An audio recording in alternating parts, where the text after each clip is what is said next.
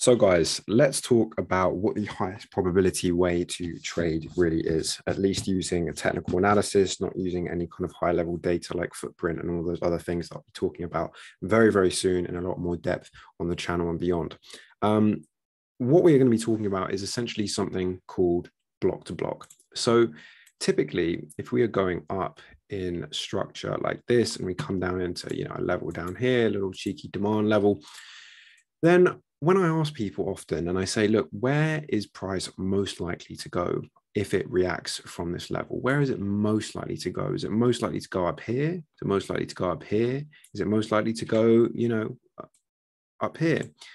It always surprises me that the vast majority of people will say here. It's most likely to go and take out this high. And that's not true because in reality, technical analysis and price is always significantly more likely to travel less distance than more distance. Because we've got to understand that although we are you know we've studied technical analysis and all of these different elements of price that can give you the illusion that you are getting or gaining control over the market. And you've got to understand that at any single one of these actual price levels here any single one of them someone could come in and drop the most ungodly amount of orders in here. Price could come up into this first one and rock it down. It could do the same into the second, third, fourth, fifth, sixth, seventh. Now, why am I telling you this? Because it's very important to have our actions reflecting how we feel. And if we understand this concept, yet we are one of those people who are, you know, saying that it's most likely to go up here, that is not reflecting what is actually going on. Instead, we should have rules that work around and basically work with what we know to be true. And ultimately, this is true because most of trading is just probabilities, and we are expecting that, okay, most of the time, for example, we, you know, we'll see it come to the high and then, you know, we'll get this uh, result. Okay. And we're relying on the risk reward in this particular example um, and all that sort of stuff. But in reality, when we understand that it could change any one of these price levels, the way that we choose to manage our plan may be very, very different. And again, this is not me knocking risk reward. Um, I'm a huge advocate of all of those things. However, this will change the way that uh, most people manage risk. Because when we understand that it's mo- more likely to travel less, then one of my favorite things to do is have a systematic way to identify where the high probability first target is. This is an area that's normally around this sort of area. And most of the time, we can be fairly sure that even if price eventually goes down and smashes through this level, that we will have a little, maybe even just a wick up to this level and continue going down. Okay. Now, this is significantly higher probability. And one of the major drawbacks that I hear from most people when I mention something like this is they're like, oh, the distance from here to here isn't good enough on my time frame. It's just not good enough. Now, in response to that, I would just say that this distance may be not very much on something like the one minute, but on something like the four hour, the daily, that, that distance will be a good 20, 30, maybe even 40 or 50 pips sometimes. And when we understand the perspective that we get from the higher time frame, and we're no longer trying to wait for these colossally large moves, this really, really opens the door for us, up the door for us, because the higher time frame, the main benefit we get is perspective. And if we can get that, but oh, sorry, but the drawback um, is time slash waiting slash patience. However, if we can eliminate some of the time whilst also getting the perspective that we get from the higher time frame, then that's going to be a very, very powerful tool for us.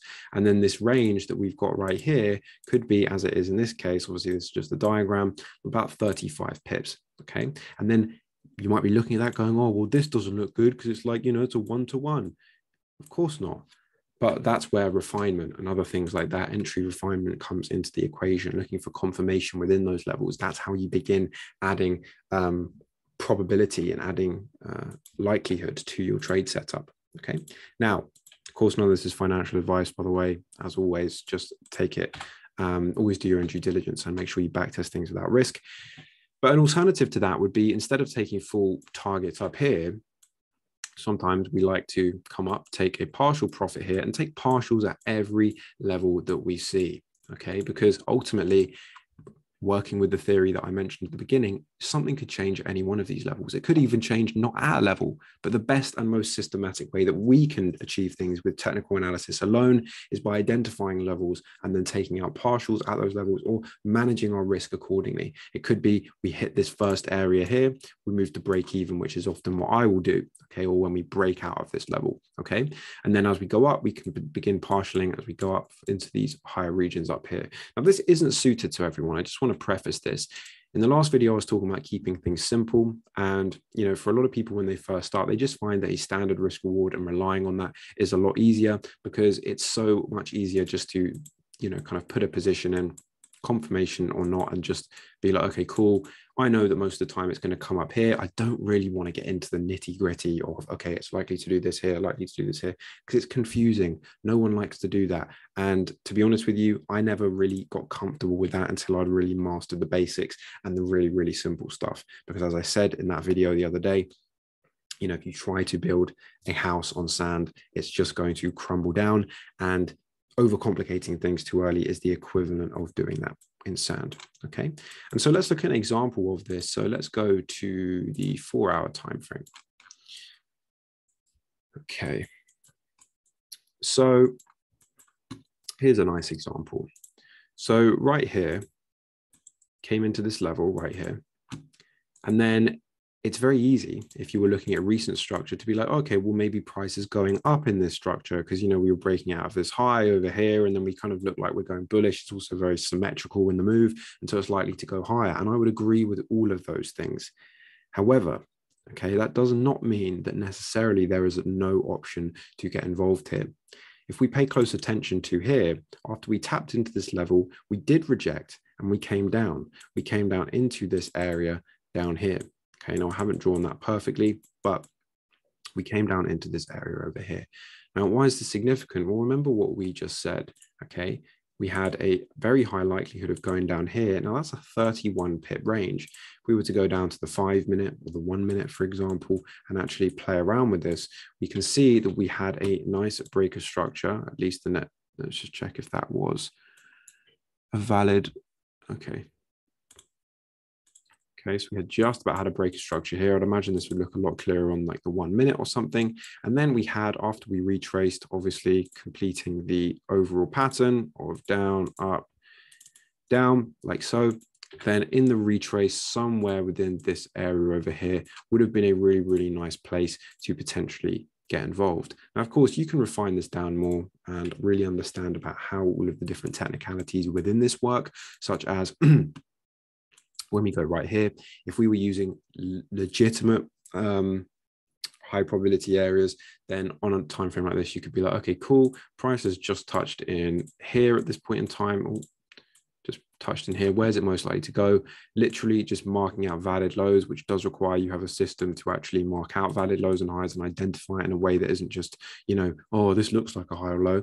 Um, and then, you know, having something like this down here, be like, okay, this is target one, this is target two, whatever it may be. Okay. Equally, there could be another method where you're using imbalance, or there could be another method where you're using, you know, something else. But the bottom line is that whichever one you pick, you're being systematic with and you make sure that you've tested it accordingly. Okay. And so it's a very, very simple tool set here because when you combine the higher timeframes with the lower timeframes, you get the benefit of all of that perspective and knowing that there is going to be even a little bit of orders at certain certain levels or make a high uh, an estimation that there will be. And then you can just you'll manage your risk according to the fact that you don't know for certain what is going to go what is going to happen. Because no matter how much we learn we never know for certain. And this is one of the traps that people get into. They learn so much about technicals. They think that what they are predicting is actually what is going to happen. And one of the biggest transitions that you're going to need to make is to transition from that line of thinking into a line of thinking where you accept that no matter what you do, you're never going to know everything. And so when you adapt your rules around that, that is when you really become a very, very powerful trader. Okay. So I really, do hope that this video has helped you. If it has, I'd appreciate you liking the video and all that fun stuff. And if you want to learn more about these sorts of concepts, how we piece all of this together, then I do recommend checking out the Academy. We've got lots of new stuff coming. The footprint software, we're just running into a lot of issues with at the moment, but we are on literally the last stage um, of the process right now. So it should be done very, very soon. So I hope that you're looking forward to that. I'll also be making videos about how we use that as time goes on. Um, but yeah, I appreciate your patience for that because I know a lot of you are excited. But uh, but either way, um, you know, footprint is not a necessity. Um, as long as you really understand these kind of fundamentals and how to combine thing and uh, combine things, the relationship between time frames, stuff like that, structure, then you'll put in a very very powerful position. Okay, so until next time, guys, take it easy. And if you have got any content ideas, drop them in the comment section below, and I'll see you very very soon.